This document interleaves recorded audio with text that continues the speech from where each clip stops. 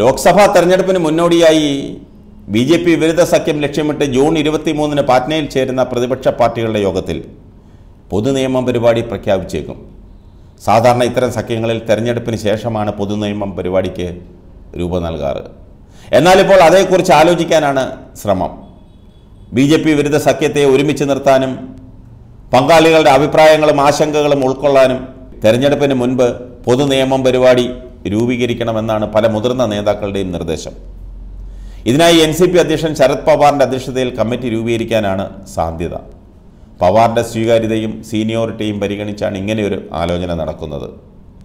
ഇരുപത്തിമൂന്നാം തീയതി നടക്കുന്ന യോഗത്തിൽ പതിനാറ് പ്രതിപക്ഷ പാർട്ടികളാണ് പങ്കെടുക്കുമെന്ന് ഉറപ്പ് നൽകിയത്. കോൺഗ്രസിനെ പ്രതിനിധീകരിച്ച് അധ്യക്ഷൻ മല്ലികാർജുൻ ഖാർഗെയും രാഹുൽ ഗാന്ധിയും പങ്കെടുക്കും. Trinamool D M K Aam Aadmi party Samajwadi party J M M തുടങ്ങിയ പാർട്ടികളും ഉണ്ടാകും. ബി ജെ പി വിരുദ്ധ സഖ്യത്തിന്റെ സാധ്യതകളിൽ ആശങ്ക പ്രകടിപ്പിച്ചെങ്കിലും ഒമർ അബ്ദുള്ളയുടെ നാഷണൽ കോൺഫറൻസും മെഹബൂബ മുഫ്തിയുടെ പി ഡി പിയും ജമ്മു കാശ്മീരിൽ നിന്നും പങ്കെടുക്കും. തെലങ്കാനയിലെ കെ ചന്ദ്രശേഖർ റാവുവിന്റെ പാർട്ടിയെ പങ്കെടുപ്പിക്കാനും നീക്കമുണ്ട്.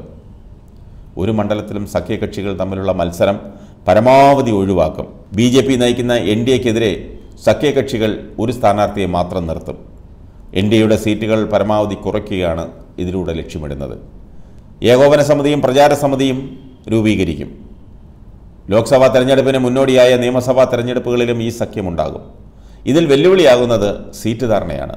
രണ്ടായിരത്തി പത്തൊമ്പതിലെ ഏറ്റവും വലിയ പ്രതിപക്ഷ കക്ഷി എന്ന നിലയിലും കൂടുതൽ സീറ്റിൽ രണ്ടാം സ്ഥാനത്തെത്തിയതും കണക്കിലെടുത്താൽ കോൺഗ്രസ് കൂടുതൽ സീറ്റുകൾക്ക് ആവശ്യപ്പെട്ടേക്കാം.